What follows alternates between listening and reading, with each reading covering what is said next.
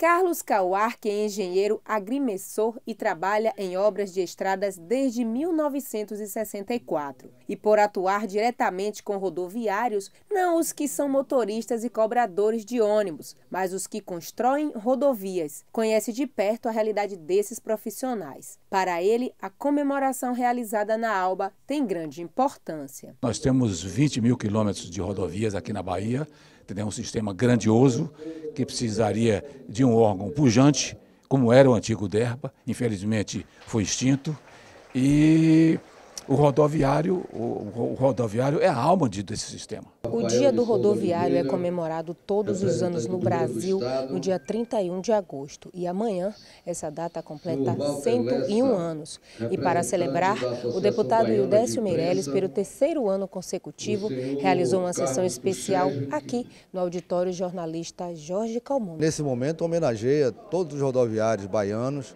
né, pela, pela, pela, pela data do seu aniversário que na verdade é amanhã, 31 de agosto, mas como nós temos essa sessão especial hoje, nós aproveitamos para de uma vez só fazer essa homenagem tanto a os rodoviários baianos, como também a pessoa do Dr. Carlos Alberto. Aproveitando o contexto durante a solenidade, também foi entregue a comenda 2 de julho ao engenheiro civil Carlos Alberto de Azevedo, que recebeu a honraria das mãos do deputado Ildécio Meirelles e dos familiares. É uma honra muito grande.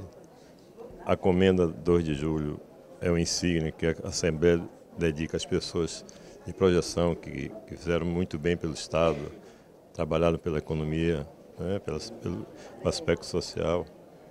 De forma que eu fico muito grato, muito emocionado, embora não me ache merecedor de tamanha honraria. Orgulhosa, a esposa do homenageado, Dona Maria Nilza, falou da felicidade de ver o companheiro receber a Comenda 2 de Julho, principalmente porque acompanhou de perto a trajetória de Carlos Alberto à frente do desenvolvimento das estradas baianas. Me sinto muito feliz, porque eu também fui rodoviária há 37 anos, então acompanhamos a, vida, a, a carreira juntos, né?